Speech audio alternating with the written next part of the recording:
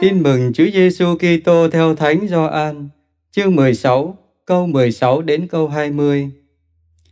Khi ấy, Đức Giêsu phán với các môn đệ: Ít lâu nữa anh em sẽ không còn thấy thầy, rồi ít lâu nữa anh em sẽ lại thấy thầy. Bấy giờ vài người trong nhóm môn đệ của Đức Giêsu hỏi nhau: Người muốn nói gì khi bảo chúng ta? Ít lâu nữa, anh em sẽ không trông thấy thầy rồi ít lâu nữa, anh em sẽ lại thấy Thầy, và Thầy đến cùng Chúa Cha. Vậy các ông nói, ít lâu nữa nghĩa là gì? Chúng ta không hiểu người nói gì. Đức Giêsu biết là các ông muốn hỏi mình, nên bảo các ông. Anh em bàn luận với nhau về lời Thầy nói, ít lâu nữa, anh em sẽ không trông thấy Thầy, rồi ít lâu nữa, anh em sẽ lại thấy Thầy. Thật, Thầy bảo thật anh em, anh em sẽ khóc lóc và than van, còn thế gian sẽ vui mừng, anh em sẽ lo buồn, nhưng nỗi buồn của anh em sẽ trở thành niềm vui.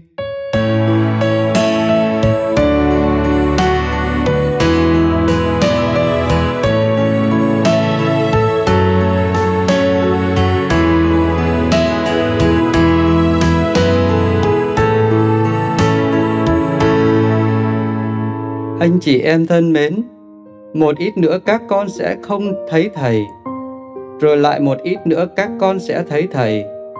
Vì Thầy về cùng cha. Những lời dạy của Chúa Giêsu làm cho các môn đệ khó hiểu là vì họ chưa thực sự đón nhận được thần khí của Chúa. Quả vậy, sau khi Chúa Giêsu đi vào cuộc thương khó, chết và sống lại, và nhất là sau khi đã nhận lãnh thần khí của Chúa, các môn đệ mới thực sự hiểu những lời ấy là Chúa nói về biến cố vượt qua của Chúa. Quả vậy, sau khi Chúa Giêsu đi vào cuộc thương khó, chết và sống lại, và nhất là sau khi đã nhận lãnh thần khí của Chúa, các môn đệ mới thực sự hiểu những lời ấy là Chúa nói về biến cố vượt qua của Chúa. Chúa bị giết chết nhưng sau đó đã phục sinh và về trời ngự bên Chúa Cha. Tuy nhiên để đón nhận được những biến cố ấy, các môn đệ phải trải qua một kinh nghiệm mà chính Chúa Giêsu đã nói trước. Các con sẽ than van khóc lóc, còn thế gian sẽ vui mừng. Các con sẽ buồn sầu, nhưng nỗi buồn của các con sẽ trở thành niềm vui. Là những Kitô hữu bước theo đường Chúa đi, chúng ta cũng đón gặp những gian nan thử thách như các môn đệ xưa. Chúng ta cũng phải đối đầu với những khó khăn của cuộc sống với những cám dỗ của thế gian, xác thịt và ma quỷ.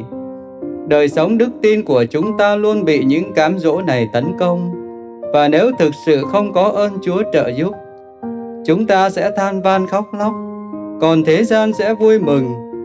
Nhưng Chúa đã sống lại, Chúa đã chiến thắng thế gian và ma quỷ. Đó là niềm tin và hy vọng của chúng ta.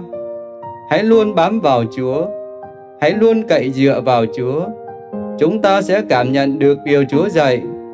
Các con sẽ buồn sầu, nhưng nỗi buồn của các con sẽ trở thành niềm vui. Lạy Chúa Giêsu, xin giúp chúng con luôn biết tín thác và cậy trông vào Chúa.